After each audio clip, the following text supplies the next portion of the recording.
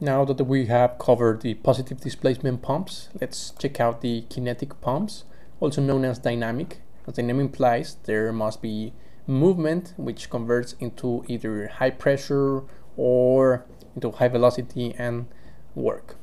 So the most common ones are centrifugal pumps. We have either axial or radial.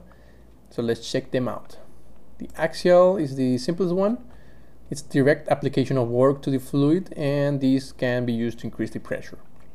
So let's say we have this pump right here and we want to move the liquid from this point to point A, which is here. So you what you will do is essentially get from the suction, move this one, this impeller or pumping system, it will move the fluid higher. And if you do it, actually you should see that this is work in movement, so the work is going to be transferred to the fluid. The fluid must either increase in height or increase in pressure or a mixture of both. Here is, here is an example. This is the suction. Fluid will go in. This will push along up here.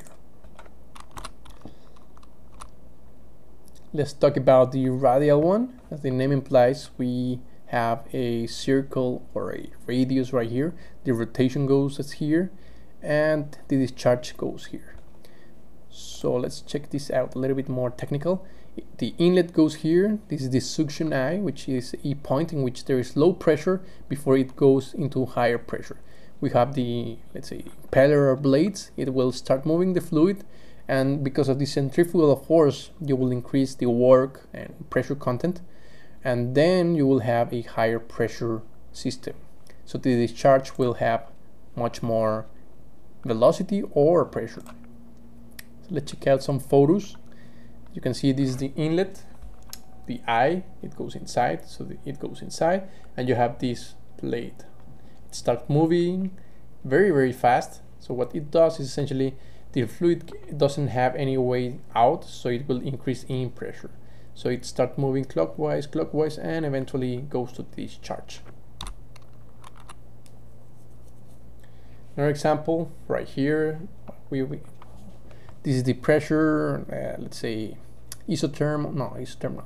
this is the pressure system blue implies low pressure red and purple implies high pressure.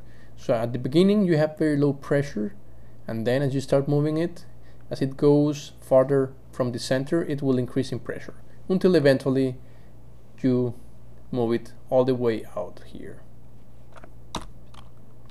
Another example, this is much more detailed. You have this suction right here. This is the shaft or yeah, the shaft right here and it will start moving so this is the centrifugal force. Liquid goes in, goes centrifugate, and it goes out of the pump right here. Go here.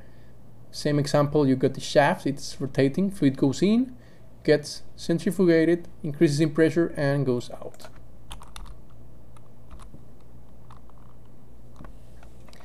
Now this is a little bit on the model on centrifugation pumps. Let's check out in the following video.